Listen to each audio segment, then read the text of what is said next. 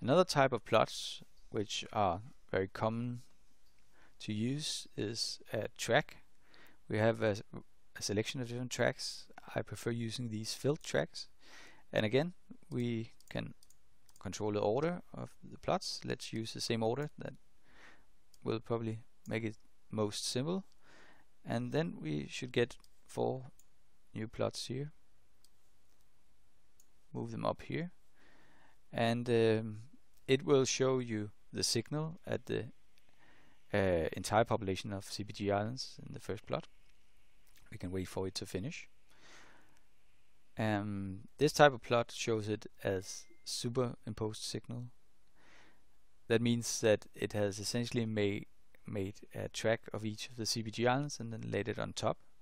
And then you get a color coding that corresponds to the number of tracks that have a, have a particular level of uh, of signal.